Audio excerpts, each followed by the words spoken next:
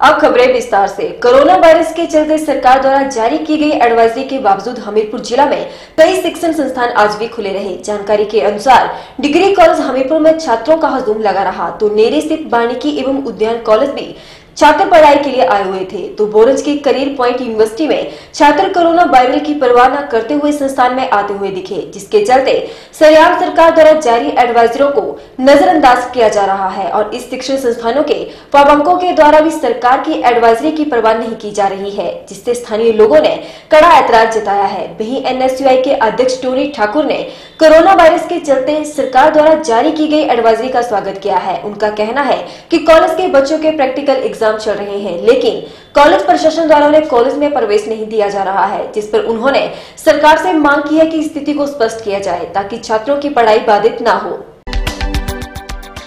Corona virus के चलते सरकार द्वारा जारी की गई एडवाइजरी के बावजूद हमीरपुर जिला में कई शिक्षण संस्थान आज भी खुले रहे। जानकारी के अनुसार, डिग्री कॉलेज हमीरपुर में छात्रों का हजूम लगा रहा तो नेरे स्थित वानिकी एवं उद्यान कॉलेज भी छात्र पढ़ाई के लिए आए हुए थे। तो बोरज के करियर पॉइंट यूनिवर्सिटी में छात्र कोरोना वायरल की परवाह न करते हुए संस्थान में आते हुए दिखे, जिसके चलते सरियाम सरकार द्वारा जारी एडवाइजरों को नजरअंदाज किया जा रहा है और इस शिक्षण संस्थानों के पाबंकों के द्वारा भी सरकार की एडवाइजरी की परवाह नहीं की जा रही है, जिससे स्थानीय लोगों ने कड़ा ऐतराज जताया है। वही एन के अध्यक्ष टोनी ठाकुर ने कोरोना वायरस के चलते सरकार द्वारा जारी की गई एडवाइजरी का स्वागत किया है। उनका कहना है की कॉलेज के बच्चों के प्रैक्टिकल एग्ज़ाम एग्ज़ाम चल रहे हैं। लेकिन कॉलेज प्रशासन द्वारा उन्हें कॉलेज में प्रवेश नहीं दिया जा रहा है, जिस पर उन्होंने सरकार से मांग की है कि स्थिति को स्पष्ट किया जाए, ताकि छात्रों की पढ़ाई बाधित ना हो। देखिए, हिमाचल प्रदेश सरकार द्वारा जो ये 31 मार्च तक जो है वो शिक्षण संस्थानों को बंद करने का फैसला लिया गया है, इसका हम तहे दिल से स्वागत करते हैं।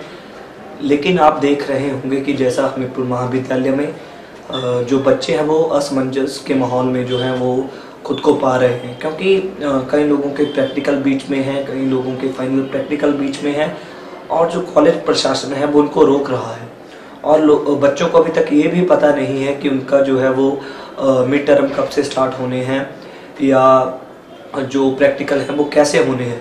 तो जिस तरह से बच्चों के बीच डर का माहौल है, और आप देखेंगे कि आप इस कारण बच्चों को जो है वो प्रभावित भी होना पड़ा। अपनी डेली दिनचर्या उनको गेट पे रोका गया ताकि कुछ अन्य किया हमारे प्रशासन से मांग है, कृपया बच्चों की ये जो स्थिति है इसको स्पष्ट किया जाए और उन्हें जो है वो लिखित रूप में आदेश दिया जाए या कुछ जो है वो प्रशासन द्वारा जो है, कॉलेज प्रशासन द्वारा जो है वो लिखित रूप में दिया जाए ताकि जो बच्चे जो है वो अपनी स्थिति जो है समझ सके और इस वायरस के दश के बीच में अपनी पढ़ाई भी जारी रख सके। क्योंकि आपको पता है कि कोरोना तो विश्व भर में जो है वो महामारी का रूप ले चुकी है। लेकिन साथ ही परीक्षाओं का समय भी सर पे है। तो कहीं ना कहीं विद्यार्थी जो हैं वो अपने आप को जो है वो बिल्कुल जो है वो असमंजस की स्थिति में पा रहे हैं।